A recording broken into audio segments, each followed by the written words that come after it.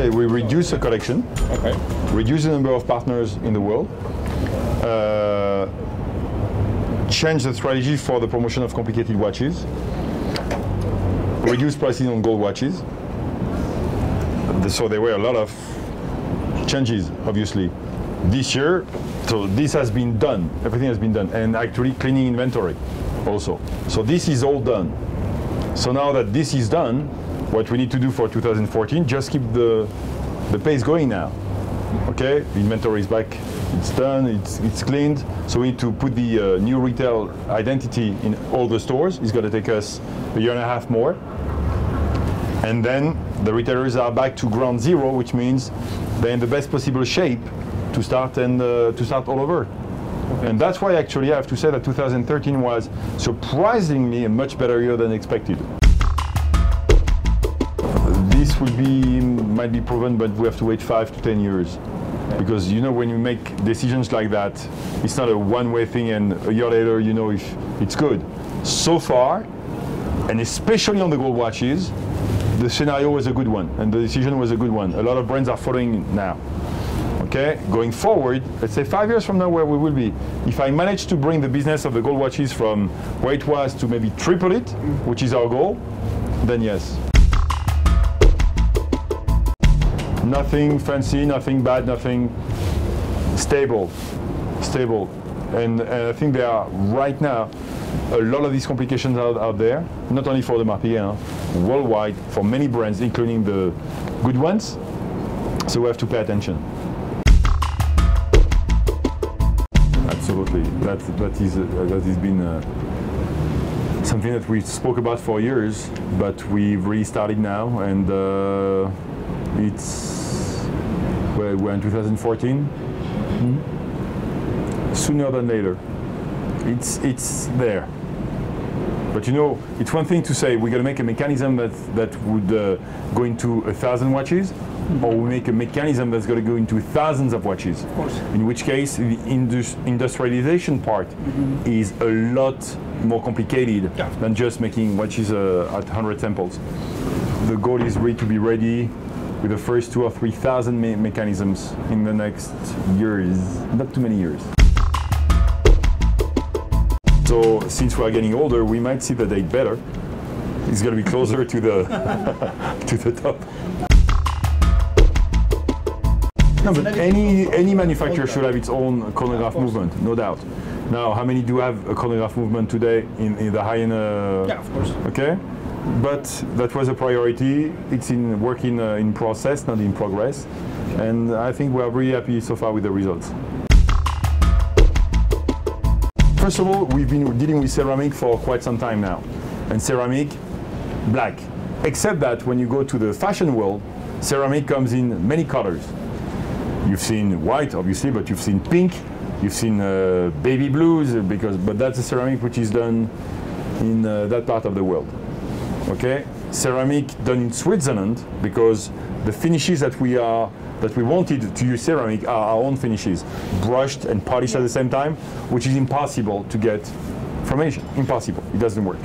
So we've got only one supplier so far, maybe a second one in Switzerland who is trying to do it, but it's major headaches. Now, from black to white, even a bigger headache, because white is even stronger and, and uh, It's harder to sturdier, yes, harder than, than black. At the same time, we say, you know what? Because it started with the idea of making a woman's watch with a bracelet in ceramic. But that's if case and, and bezel is already an achievement, a bracelet finished our way, it's even uh, it's we're talking about years on that one. It's no no no it's it's very very complicated. Funny enough, I was in Ibiza last summer, partying on the beach, everything. I saw a lot of white watches on guys. A lot. And I took pictures say, hey, we not, might not be so wrong because I see a lot of white watches now. They were not the high end, but they were white. And funny enough, before coming to the fair, we say, you know what? We might sell, for example, in the US, it's only it's going to be only for California or Florida. Chicago, New York, uh, say, let's go. They love it. Now, are we to keep this in the collection as a regular thing? No. No. But it was a sort of, uh, okay, we pushed it even further using ceramic in the diver, in the chronograph, and in the concept, and we'll see what we do with. People have done this, have done this, have done that. What about this? Have you seen any white ceramic done by any watch companies in the high end in the last three, four, five years? No. And, and we can say, without a, I could have all the CEOs here around the table, as far as finishes, nobody, nobody does it like that. It's impossible. Not impossible, it's possible because we are doing it. But then you talk about price, price-wise, it's completely insane. But I would love, actually, I would love to be able at one point to make a, a, a Oak on a bracelet in ceramic, providing that it would respect our codes. I would love to do that. Yeah. I can tell you a story. Now, there is a story to be told about that movement because it's not only that movement of the chronograph, it's a new movement also as an automatic. So it's two mechanisms. So we spoke about that and I said one day I brought 20 people from Le Locle, so from Renaud and Papi, and I, put, I brought 20 people from Le Brassus. I put this whole team at Hotel des Horlogers, that you know, in a room downstairs. We couldn't even fit everybody the right way. We sat down everybody. I took the key of the room. It was five o'clock in the afternoon. I closed the door and I said, we are not leaving that room until you found me the solution for the next 10 years. We need new mechanisms, okay? And they have to be perfect. So I'm going to listen to you. We won't leave that room until we can put on the board everything that we need. We left the room at 9.30 and I can tell you that when you keep watchmaker for that, that long in a room, no food, there was no food, no water, zero. It was very hardcore. This is a true story. Hardcore. Then we had dinner together and when I said normally it's seven to 10 years, I said I'll give you four. Find a solution. Find a way. Even if you tell me, François, okay, we have to do this, we have to keep the, the factory open 24-7 or and, uh, and uh, have two shifts or three shifts, I don't care. I'll give you four. And during the dinner, some guys were arguing against each other because they were saying, and if we were to do this, and what about doing that, and what about, they were already brainstorming a completely different mindset. And Julio came with a proposal that saved us already a year. One year. Something that would normally take a year, now it's one month. And that's going to help us not only for these two new calibers, but for everything else. So it's possible. Now we'll see. So far, we are on track. So the Mapega has sold a lot of ladies' watches in its history. I mean, it's not new to us. What's new to us is we stopped communicating for almost five to ten years. So we missed big opportunities. We started with a new ad campaign. By the way, the new ad campaign has, has had to change because we kept at first the tagline to break the rules, you must first master them, which does not apply to women. So we went back to the agency and said, guys, you have to find a new way of saying it, but it doesn't work for women. So the new ad campaign now works. We see that it's it's fine for everybody. Now the products, but it's one thing also.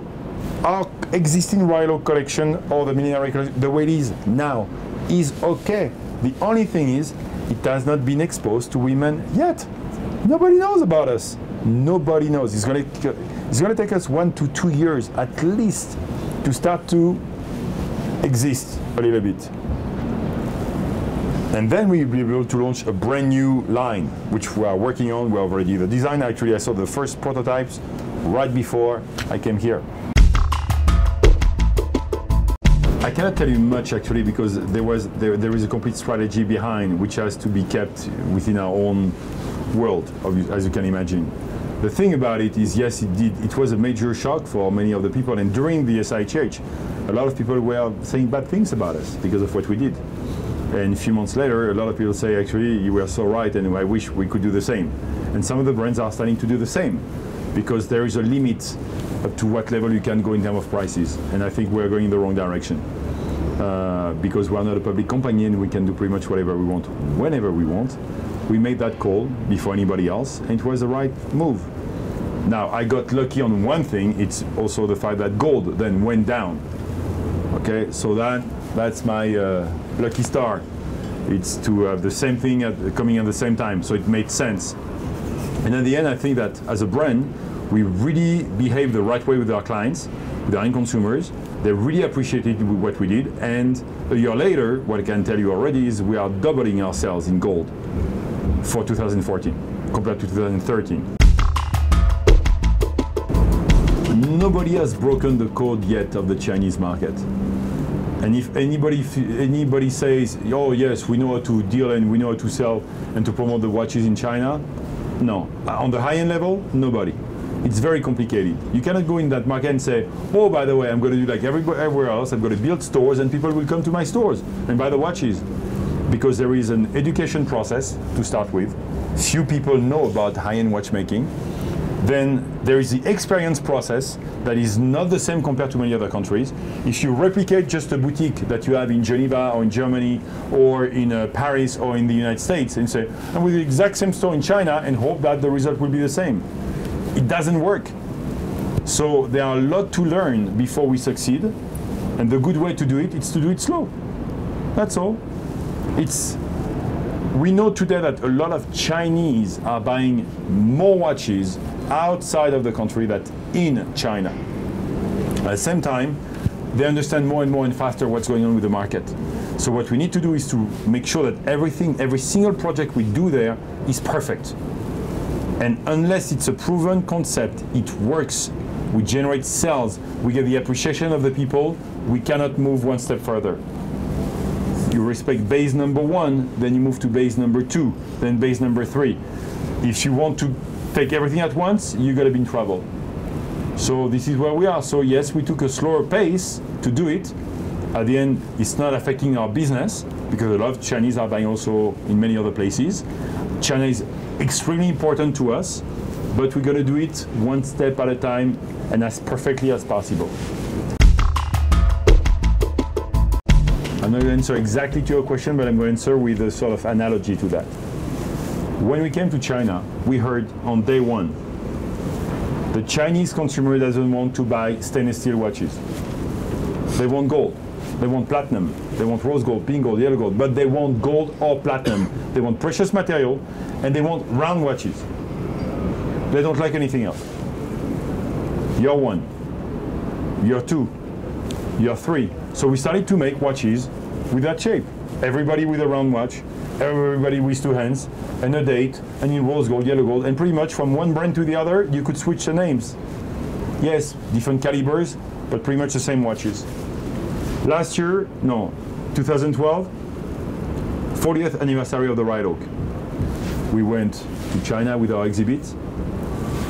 The following month, the number one watch that was looked at on the internet, yeah, the number one watch that we're looking on the internet Royal Oak 40th anniversary watch, which means, and we start to sell the Royal Oak. There will be an evolution. Right now, they say chronograph doesn't sell that much in China. I'm going to talk to you, ladies. Who would have thought just five years ago that at one point a pair of shoes, or 10 years ago, a pair of shoes would go from two inches heels to three to four, five, and six inches heels now and that was not in the trend, you would have said, oh, tomorrow it's going to be five or six inches. You say, there is no way. Nobody's going to walk on these shoes. So that's what it is. You said also uh, a pair of shoes was 300 Swiss franc or 300 dollars or 300 whatever it is. Now it's a thousand. People say, there is no way we're going to ever buy shoes for a thousand, 1200. There is an evolution in the business that always proved that if you don't do it, then you have zero chance actually to make it work but you bring it, it's going to take more time. And at one point, few people will start to wear the chronograph, enjoy the chronograph. Their friends will see them wearing the chronograph. And one, plus one, plus one, and then 10, 20, 50, 100, and that's the way it goes. Today, one of my biggest hopes, we see a lot of women wearing a gold chronograph on their wrist. No need to say the name of the company. And the watch is 34, 35,000 retail for me, that's the best possible news. You wouldn't see that five years ago. If they do that now, I'm next. Because at one point, they're going to move up to us. This is sure. And when the, that day starts, then it's game over. And the exact story is Gérald was walking on the pont, uh, it's called Pont, the bridge of uh, whatever, I don't even remember, in Geneva. Ah, in Geneva. In Geneva, that bridge in Geneva, Pont de Mont Blanc. maybe it's Pont du Mont Blanc. And at that time, there was a guy coming, being prepped up with a scaphandre, okay, to go in the water. Okay? And the scaphandre, you have the screws on the thing, and you got this thing, and they and they screw the, the, the big like cosmonaut helmet on the on the on, on the combination combination on the suit, suit yeah. on the dive suit because you have to have the the pipes, okay, to deliver the air. And you saw the guy walking in the water, and he say, if a man can trust that technique enough to go underwater with just air like that, that should work for one of the watches. It came from safety. He looked at it and said, if the man can trust that thing to go underwater with, that's going to be perfect for a watch. I was not even aware. She actually showed me his first contract with Audemars Piguet, with the amount we paid for the Royal Oak design. This I cannot share. we don't focus on one market. We cannot focus on one specific market. Our luck, actually, in 2013 is because our sales are well spread. So even if it goes down a bit here, it goes up there, and we are fine. And we've got to keep that going on. We cannot put all our eggs in the same basket one way or the other. We have to pay extreme attention to where we sell our watches and who buys them. Because it's one thing to sell in a specific country, but who buys in that country? For example, Switzerland finally became our first country in Europe. Huge revenue in 2013, thanks to the, the Asian, the Chinese that bought also, yes, obviously in Switzerland, but thanks also to a lot of people that bought in our stores who are coming from Latin America, Middle East, Russia, uh, Eastern Europe, okay, or the United States. So every time we start a year, we say, okay, let's make sure we keep the, the world well balanced. Don't push in a specific direction. Today it's everywhere. It's everywhere. You maybe you you won't like my answer, but it's everywhere. When you really think about the number of people that can get access to our watches in the world, you're talking about millions, millions of people who have not even been exposed to high-end watchmaking, potentially. They don't even know it yet.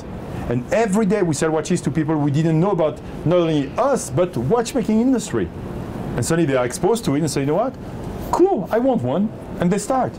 And we have so many of those out there. So maybe 10 years from now, we'll talk to you in a different way. But right now, everywhere. I'm gonna say next year, sound beats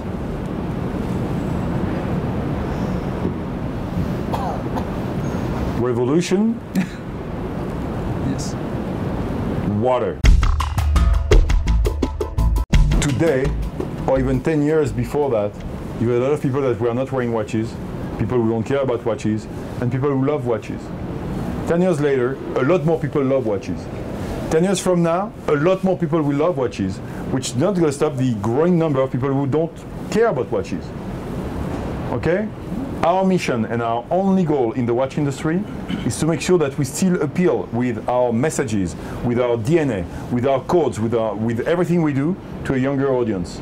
As long as we've got that, whether we hit one, two, or three out of ten, we don't know yet.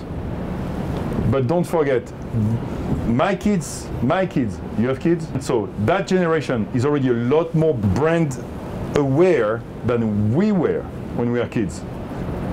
As kids, and my background is not, I don't come from a wealthy family, we had, okay, we are okay, but not great.